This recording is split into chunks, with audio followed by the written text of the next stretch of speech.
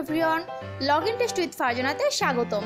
আজ করে দেখাবো ইন্ডিয়ার জনপ্রিয় একটা খাবার, ডিমের বার্গার। এটা ওভেনে অল্প বেক করে খাওয়া যায় ঠিক এইভাবে, আবার বেক না করেও খাওয়া যায় ঠিক এইভাবে। খুব কম সময়ে আর কম উপকরণ দিয়ে অনেক সহজে বানিয়ে নিতে পারেন যে কোনো সময়ে। আর এটা শুধু বিকেলের নাস্তাই না, সকালের ব্রেকফাস্ট বা বাচ্চাদের টিফিনে বানিয়ে দিতে পারেন। তাহলে দেখে নেই পুরো প্রস্তুত প্রণালী রেসিপিটি ভালো লাগলে সাবস্ক্রাইব করুন আর পাশে থাকা বেল আইকনে ক্লিক করুন, এতে করে আমার পরবর্তী ভিডিও আপলোড করলে সাথে সাথে নোটিফিকেশন আপনাদের কাছে চলে যাবে।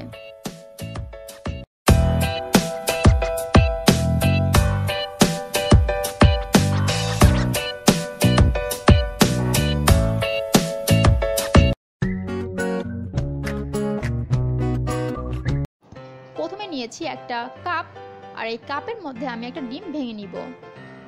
আর এখন দেব টেস্টিং সল্ট আমি একটু বেশি পরিমাণ ব্যবহার করব, কারণ এতে আমি খুব বেশি কিছু ব্যবহার করব না এই জন্য। চাইলে কিন্তু লবণ বা বিট লবণ দিতে পারেন, তবে সেক্ষেত্রে একটু কমিয়ে দিবেন।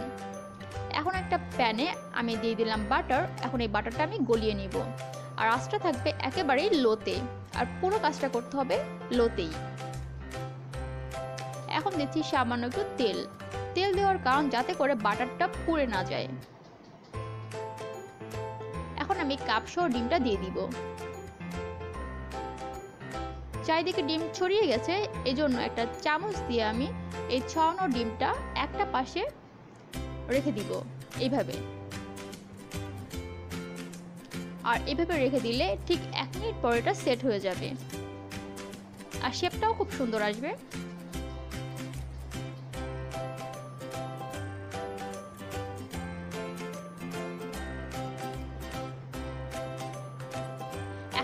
গিয়েছে।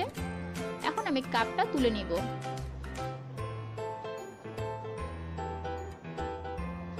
এখন দিব সামান্য রসুন কুচি। দিয়ে দিচ্ছি শুকনো মরিচ তেলে অল্প গুঁড়া করে নেওয়া সেইটা। ঢেকে দিচ্ছি আর অপেক্ষা করব ঠিক এক মিনিট। এক মিনিট হয়ে গিয়েছে। এখন ডিমটা খুব সাবধানের সাথে তুলে নিতে হবে। প্রথমে খুনতে দিয়ে আমি চারিদিকে ছাড়িয়ে নিব। এটা খুব সাবধানে করতে হবে, কারণ ডিমের কুসুমটা অনেক নরম রয়েছে, তাই ডিমের কুসুমটা ফেটে চারিদিকে ছড়িয়ে পড়তে পারে এই জন্য সাবধানে এটা তুলে নিতে হবে।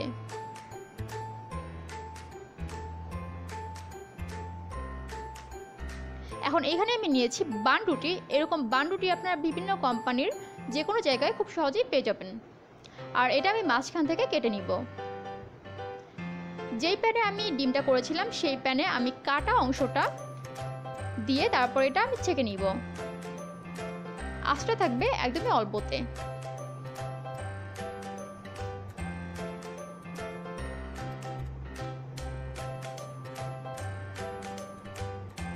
এইটা হয়ে গিয়েছে।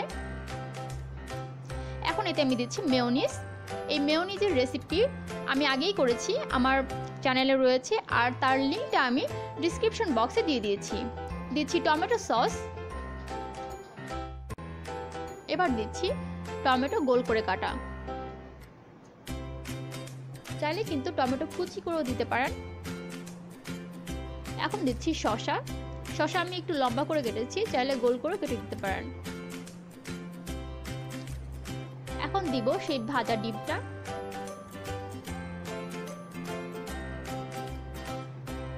দিচ্ছি সামান্য একটু ধনিয়া পাতা কুচি, চাইলে পুদিনা পাতা কুচি করে দিতে পারেন।